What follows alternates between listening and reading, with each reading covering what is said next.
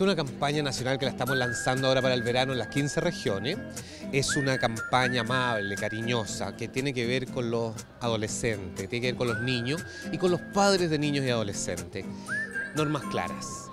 No deben consumir ni alcohol, ni tabaco, ni droga los adolescentes, porque es un daño muy, muy profundo en su salud. Son muy vulnerables biológicamente y psicológicamente los adolescentes si consumen. Entonces no queremos que se inicien tempranamente y ojalá no se iniciaran nunca.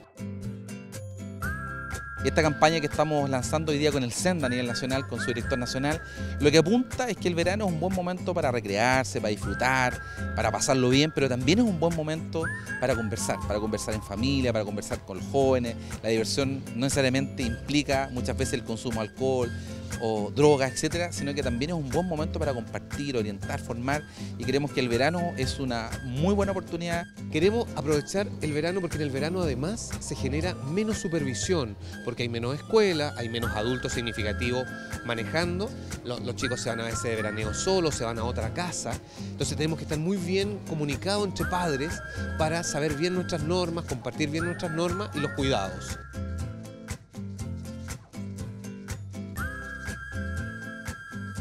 Digamos, como municipio también vamos a llevar un poco estas recomendaciones, estos mensajes a conversar en familia y también nosotros lo vamos a hacer como municipio.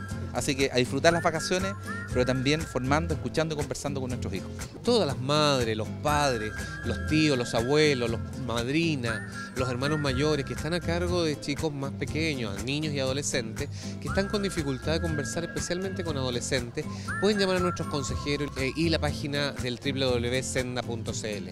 ¿No es cierto? Que es, el, que es muy importante donde eh, se puede conversar de todo.